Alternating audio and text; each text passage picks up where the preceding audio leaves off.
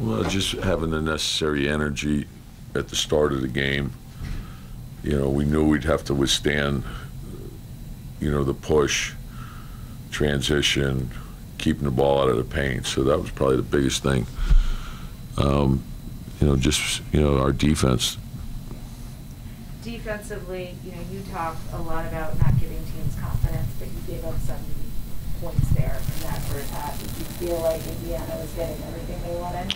Well, they're a good team. You know, the, the, uh, I thought we scored, but we didn't, we didn't guard. So, um, you know, take, just takes one guy, you know, and uh, we knew it would be a challenge uh, because of you know where we were in our schedule. Um, but we got to meet that challenge. We have you know we have to find a way to get it done. Continuing to talk the guys through the inconsistency? Yeah, the games keep coming. You know, so uh, you know we've been a very good road team all year, and so. Uh, this is a challenge, and now we, we, we go to Toronto next, and uh, sometimes the schedule's in your favor, sometimes it's not. And when it's not, you, you still got to play, and you got to find a way to get it done. In Antonio, game two one-sided losses here. Is there something common that you see here, like that they're not making a run? Well, you know, you just look at it game to game. You know, like I said, you, you you tend to like how are you trending? What do you need to work on? You know, as I mentioned, you know, you go back to the Atlanta game, played real well in that game, played well in the Brooklyn game, played well enough to win in the Chicago game. Uh, we got to find a way to close those out, and then didn't play well in the Denver game, played well in San Antonio, uh, and then it's a back-to-back. So you you know you got to have the resiliency and the mental toughness to get through adversity. Um, and so that's what we have to continue to work on. So,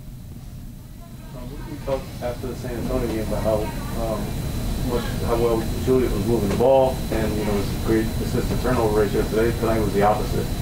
Um, what did you see there, and why do you think it changed such a dramatic change? From well, you, every, again, the same thing. It's a, it's not any one particular guy. It's it's a group together. Everyone has to bring energy. Everyone has to, you know, you can't like shortcut anything, um, and uh, all, your offense is timing and spacing. Your your defense is your commitment to each other, and same thing. So uh, we're all in it together. It's you know you just have to have the toughness to get things done, and uh, you're not going to feel your best every night in this league. That's part of it, and so that's why your conditioning is so important. Tom, uh, Obi uh, obviously made that dunk, um, brought you within five, uh, but then they scored the next eight after that. Are you are you okay with the guy going through his legs there as long as he makes it, or, or do you? Have Yeah, just you know, he's Obi's a great athlete. You know, he's going to make you know some incredible plays. That's who he is. Offensively, I'm more concerned about the all-around game and how our team is doing. So, um, you know, you see, you know, we have a number of players that can make plays that are that are special. So, as long as it's within the context of the team framework, I'm good. What does Evan need to do to um, be more consistent on defense? Yeah, just you know, and, and again, I, I say it's not any one particular guy; it's the entire group. You know, I, we can go down the list. You know, start with you know just our defensive transition, get back, get set. You know, and sometimes eh, you know if you give in to whatever uh, is ailing you or whatever it might be, what you know in this league, you know you could find an excuse every night if you want to. You know, early start time, late start time, travel, back to back, whatever it might be. You know, you, you some games start at noon, some games start at 8:30. You know, there's all different start times. There's back to backs. The schedule. You know, at the end of the day, we all play 82. You know, so sometimes it's going in your favor, sometimes it's not. Were you surprised that um, Nerlens couldn't play and did that throw wrench in whatever you might be playing into? Yeah, just you know, you, you trust the players, trust the medical staff. When they tell you someone can't go, they can't go. That's the next guy get in there, get the job done. So, you know, we know Taj is always ready. Um, I'm pleased with the way Jericho's working. Um, you know, Mitch got out there, gave us what he had. You had said before the game that you see how Mitch responded to the game. Was he not at full strength? Yeah, he said he, you know, like he's feeling good. He's still, you know, working through things.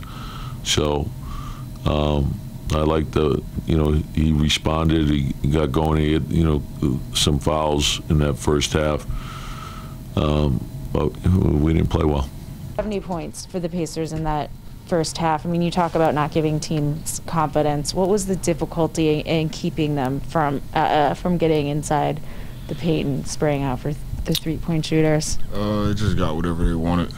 Um, transition, downhill, second chance. Um, and then it led out to the kick out three, so it just kind of was in rhythm the whole game. Heading into this week, you talked about, you know, it was kind of time to like take a look in the mirror, decide who you guys want to be as a team. Mhm. How frustrating is it to have the win that you had last night and then to come out here and then have this performance tonight? Uh, it's frustrating, but um, just got to keep moving forward. What will you take away from this one? Like, what is the thing that you guys need to correct before you play Toronto? Uh, it's just our focus. Um, I think everybody was maybe just a little drained, um, you know, with the back-to-back or whatever it was. So uh, we just got to be mentally tougher to overcome that and just have a better focus. Is the up and down nature of the season what's been so frustrating? Just that. Yeah, I mean, uh, just inconsistency. Yeah, inconsistency. What, what is the big difference, you know, obviously the defense wasn't having today, but what is the big difference between the offense in San Antonio where uh, you guys are moving the ball, shots are falling, to today where it just didn't have that same uh, group? Um, getting stops help. Defensively, getting stops help because you know allows us to get out in transition and play play more free rather than every time coming down against a set defense. And uh, you know it's a little bit tougher to put teams in rotation um, when you're not able to push the ball and uh, get the ball up the court after stops.